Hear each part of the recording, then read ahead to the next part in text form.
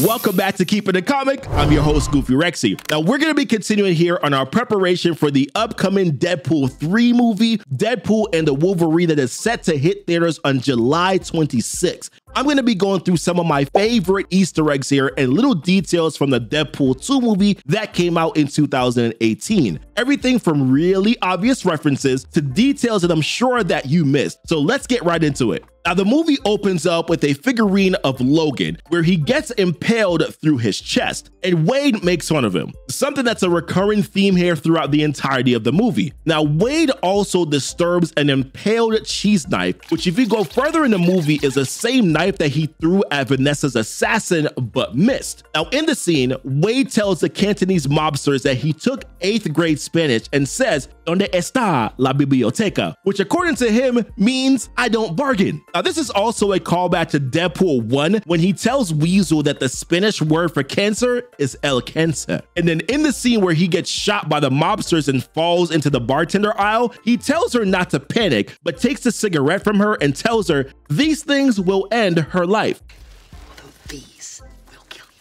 Then I realized that in the very first shot of the movie, Wade is seen taking a cigarette, indicating that he is trying to end his life, which I thought was some cool foreshadowing. Now, Deadpool is seen putting on a wig in a strip club. This is a reference to Lady Deadpool, which I'm hearing through the grapevine that she's to be making an appearance in Deadpool and Wolverine and might get played by Blake Lively. Dopinder also makes a reference to Kirsten Dunst from the 1994 film called Interview with a Vampire, where a child gets a taste for human lives and can't stop herself. Now, this is foreshadowing for Russell, where in his future, he gets a taste for human lives as well. Now, after Deadpool gets chased by the bad guy, he jumps into Dopinder's cab and goes to the front seat in a similar fashion, just like in Deadpool 1.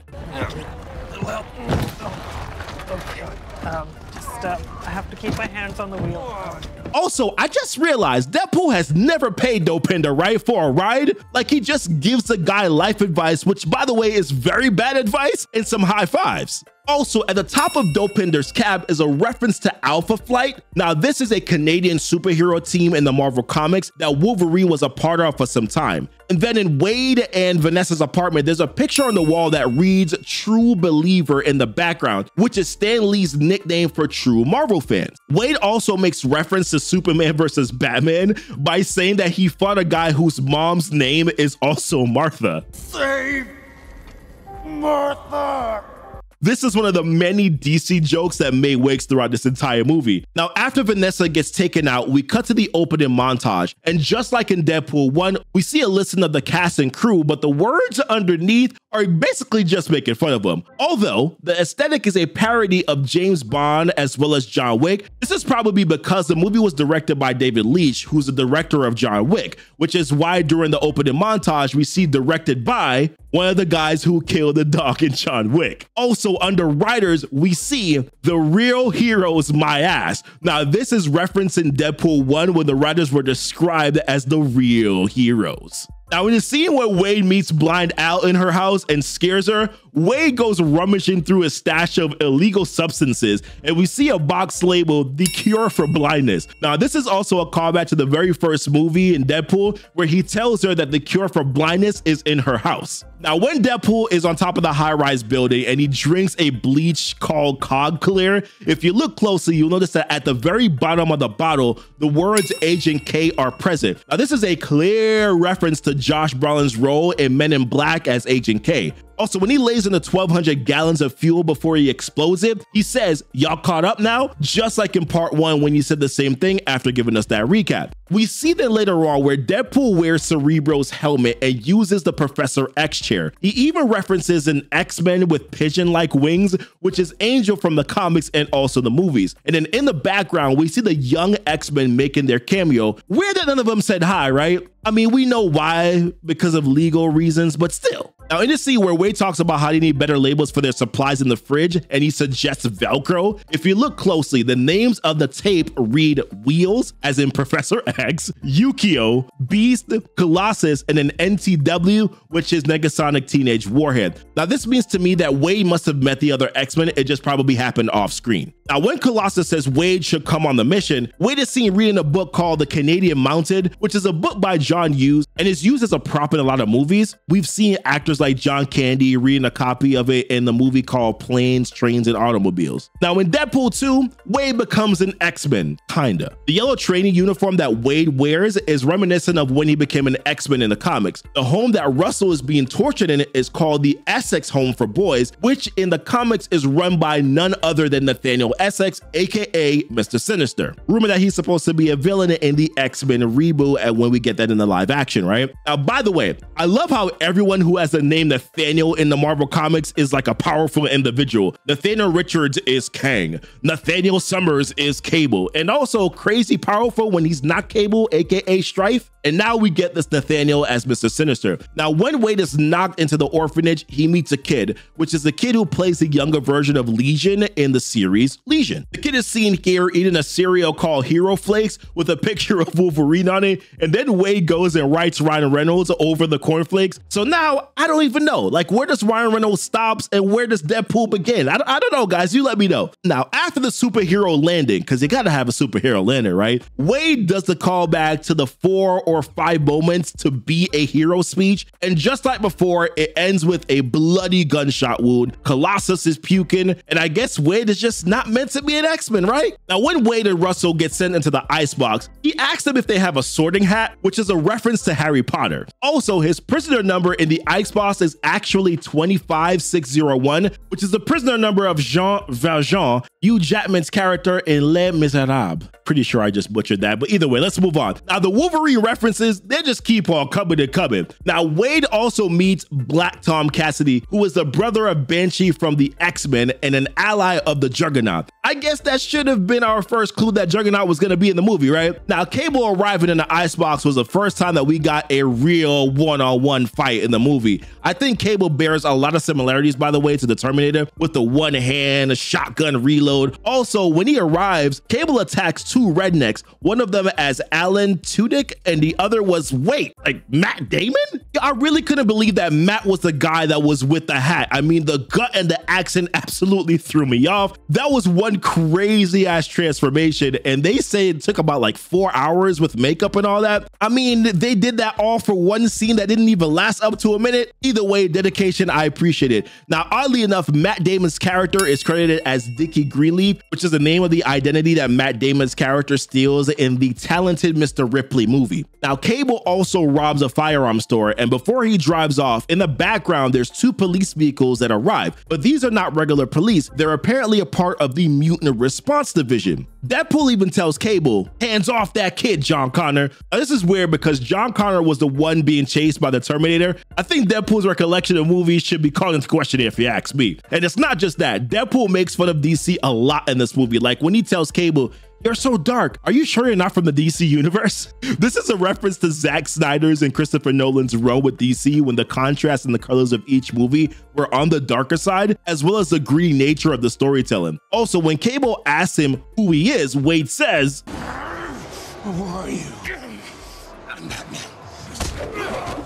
Echoing Michael Keaton's immortal lines. There's also a reference to Jack Nicholson's Joker, where the bang comes out of his gun at the back of Weasel and Deadpool in the X-Force selection scene. One of the amazing things I realized when watching Deadpool is that if Cable never came back to execute Russell, Deadpool would have died in the icebox. I mean, he had the collar on and the cancer was slowly killing him. Dude would have been gone a couple days. No wonder Cable said, 50 years from now, you're very dead. Deadpool also makes fun of Cable's height in the X-Force debriefing speech when he says Cable is like 5'11", not like in the comics, which caused a bit of controversy because Cable is like 6'8 in the comics. This brings us to the members of the X-Force selection scene. First off, during the X-Force member selection scene, Weasel goes through a bunch of photos in the line of photos. The first picture is actually a picture of Ruth Bader Ginsburg, and underneath the photo was the nickname Notorious RBG, as she was known, which of course sounds a lot like Notorious B.I.G., who, by the way, that's where she got the name from. That's how they kind of nicknamed her. And both of them, fun fact, were also born and bred in Brooklyn, New York. Now, I'm going to be honest with you. I'm a little pissed off about what the writers did to Shatterstar. Now, in the movie, he said he's from the planet Mojo world which is like another planet run by the infamous villain Mojo. The movie makes Shatterstar seem like an alien when he's actually a human slash mutant who was raised in Mojo world. Also, the way they took him out was not exactly canon. Shatterstar is incredibly powerful. Not only is he smart and an incredible fighter with a cool healing factor, but he can also teleport. So the fact that he just loses his life to helicopter blades, that's just kind of anticlimactic. We also meet the X-Force character Zeitgeist, and on his arm, he has the number 116, which I think is a reference to the X-Force issue number 116, where the character debuts and also loses his life. Yep, just like in the movie, the comics has not been fair to this character at all, or any of the other ones that are there, because in issue number 116, a bunch of X-Force characters, they get murked. Although it was way more sad in the comics than it was in Deadpool 2. In Deadpool 2, it was just pure comedy. Additionally, I noticed that when Deadpool is choosing the members of the X-Force, he stabs all of their pictures with a knife,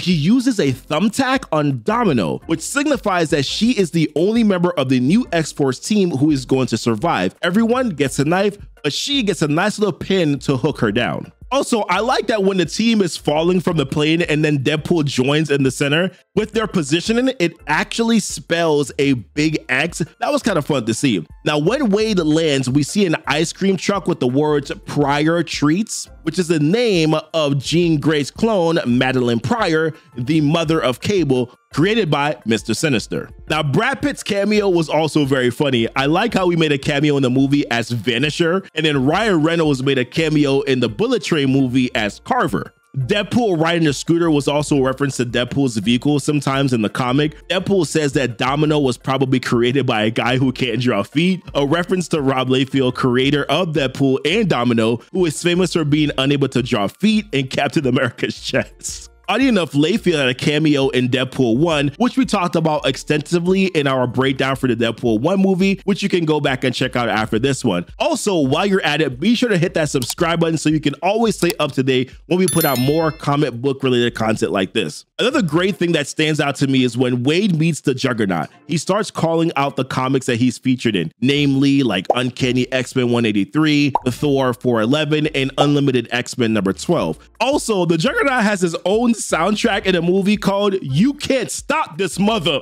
And just for your viewing pleasure, these are the lyrics Fighting dirty, fighting dirty. You can't stop him. He's the juggernaut. You can't stop this mother, which that is finished off with Holy shitballs, holy shitballs, holy shitballs, holy shitballs. Oh my God, I can't believe I just did that. Either way, the entire song was sung by a massive orchestra, which is funny when you think about it. A large group of people singing holy shitballs. Like And I can just imagine Deadpool being the conductor while that happens. Absolutely classic. Also, get a load of this. Ryan Reynolds voiced the role of Juggernaut in the movie. Apparently, they ran out of money to hire an actor, so he just stepped in. Now, during Wade's second fight with Cable, he tried to repeat that scene in the X-Men Origin Wolverine movie where he deflects the bullets, but it just doesn't go so well.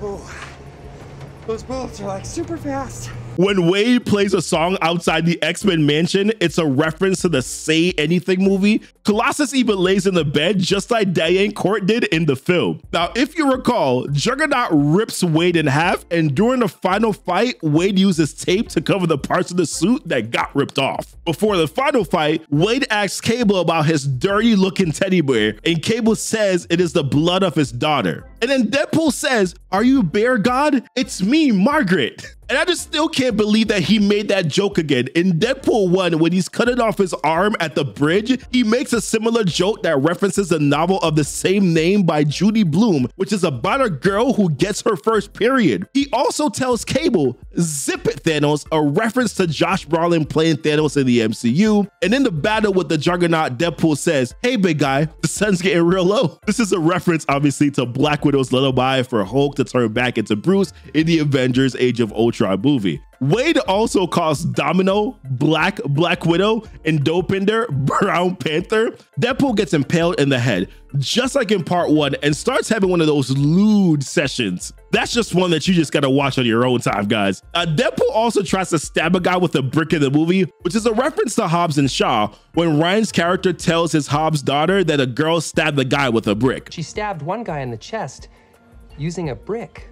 Do you know how hard that is? Now, this is pretty convenient because both movies are directed again by David Leitch. The music that plays in the background of Deadpool's death scene is also the same score used in Logan's death scene as well. In the mid credits, Deadpool calls NTW 11 a reference to Stranger Things. He unalives Ryan Reynolds at the moment Ryan finishes reading the Green Lantern script and he takes out the first real appearance of Deadpool in the X-Men Origin Wolverine movie, and he tells Logan that his old pal Wade is going to tell him to get back on the saddle. This is a reference to Ryan asking you to play Wolverine in Deadpool 3. I still can't believe that this is all kind of canon, by the way, which, by the way, it was rumored that Wolverine was always going to be a part of the plan to be a part of the next Deadpool movie, which was rumored to be a Christmas movie. So yeah, that's about it for all the Easter eggs and hidden details that I noticed in Deadpool 2. Let me know if I missed anything and be sure to check out our other video here, especially the one where we talk about Deadpool 1 and we go through Easter eggs for that one. And then also this other one here where we talk about how Deadpool 3 and Wolverine and Deadpool are gonna be breaking the multiverse. All right, guys, thank you so much for watching. And as always, thank you for kicking it with Keepin It Comic. Bye.